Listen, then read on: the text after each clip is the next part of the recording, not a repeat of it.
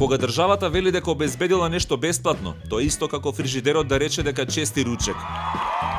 Ако никој не стави храна во фрижидерот, ке нема ни што да се извади. Ако никој не и даде пари на државата, ке нема ни таа што да даде. Ништо не се создава со магија внатре, ниту во фрижидерот, ниту во државната каса. Според тоа државата никогаш ништо не дава бесплатно. Мислата според која се водат економистите уште од 20 век наваму е не постои бесплатен ручек. Секогаш некој го плаќа. А кога државата вели дека дава нешто бесплатно, сите плаќаме.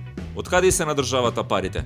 Данок од заработката на граѓаните, данок од трошењето на граѓаните, данок од заработката на фирмите и заеми што потоа ги враќаат граѓаните и фирмите.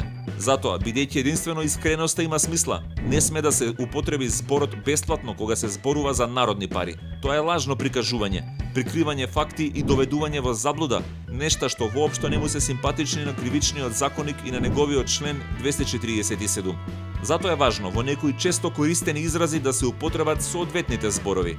Нема бесплатни учебници, туку учебници платени со народните пари. Нема бесплатно возење во автобус, туку возење платено со народните пари. Нема бесплатно патување, туку патување платено со народните пари. Нема ниту вработување без надоместоци, туку вработување за кое надоместоците се покриени со народните пари. Понекогаш јавните институции велат дека некои услуги ги обезбедуваат бесплатно, на пример издавањето на некои документи, но Хартијата на која ги печатат не ја прават од гранките на дрвото пред објектот, туку ја купуваат. Печатењето не го прават на рачни преси во подрумот, туку на купени современи печатачи. Струјата што ја трошат, не ја прават глувци што трчаат во цилиндричен кафес, туку се купува од електродистрибуцијата. Персоналот не работи волонтерски, туку зема плата. Сите овие трошоци се однапред покриени од народните пари. Затоа ни документот не може да биде бесплатен, туку само без дополнителен надомест. Основната задача на државата е да собере дел од парите во општеството и да ги ги троши на начин на кој што ќе се оцени дека е најдобар за што повеќе граѓани. Само по себе